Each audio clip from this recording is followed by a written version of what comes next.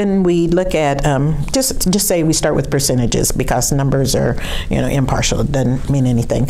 But when you see that you know one population might be 18 percent, well, that's a small minority in comparison to the big group, and one might be 23 percent. Again, that's a small. So when you have a majority group who um, can choose not to pay attention to uh, a smaller percentage, then something has to trigger their consciousness to say, yeah, but these are human beings, they cannot be ignored. And that has often seemed to be the challenge. People are innocent in their ignorance. Um, they are not intending to come to work to make any child's life miserable.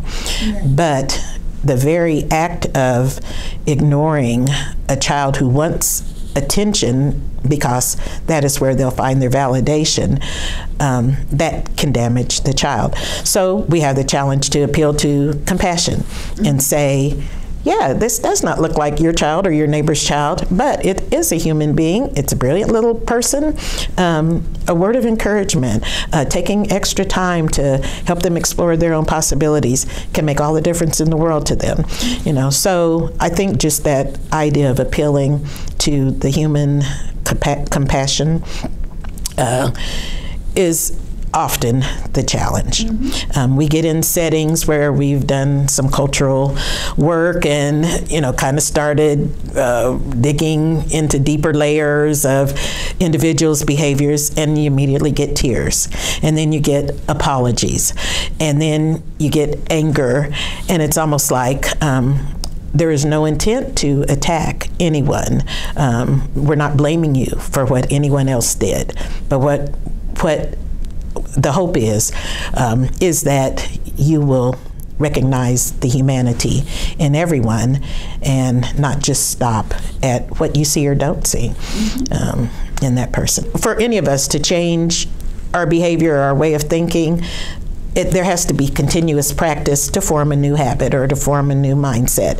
And a one time um, workshop on cultural diversity, and I felt bad, but now my eyes have been opened. And starting Monday, I think I'm going to do better. But Monday comes and the body's following up. I fall back into my same habit, you know. So that's why I think we still have a lot of work to do because it has to just become part of our practice. Mm-hmm. And every human being has to be accountable for practicing.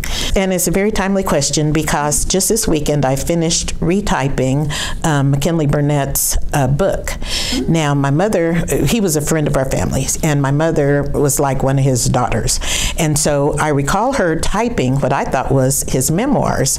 And Marcus had approached me not too long ago and said, you know, we want to publish Dad's book. Can you do something with it? And so, you know, I thought I was going to be retyping what my mother typed because it is. It's the old, yellowed, old uh, manual typewriter. Okay. Uh-huh. And, um, but it isn't. It's a historical um, reflection on Abraham Lincoln and how he is not a friend of the black people.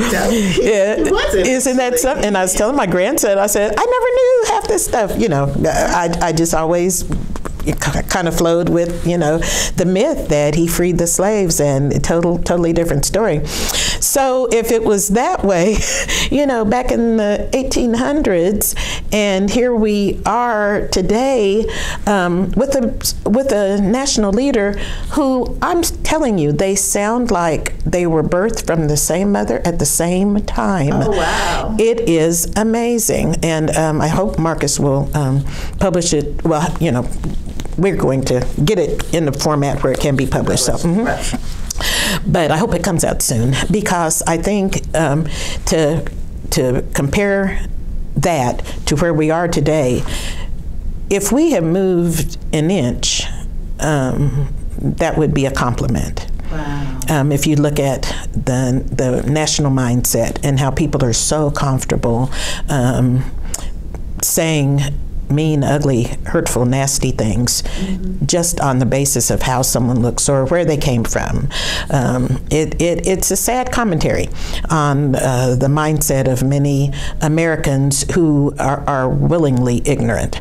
And so, um, when you're talking about, you know, what was my historical imagination, where where I'd hope we'd be today after the Brown situation, um, Mr. Burnett, he, his thoughts were the same. You know, until people educate themselves and become aware, learn how to vote, know who to vote for, um, and take it upon themselves to be that person that'll stand up no matter what, and at least speak for yourself, and hopefully others will agree with you, then we're not going to go anywhere because it's a system. Mm-hmm. It's not even you know individuals uh, you know a handful that are running things it is a deeply rooted system that cannot budge as long as we're still operating within those same parameters of this party that party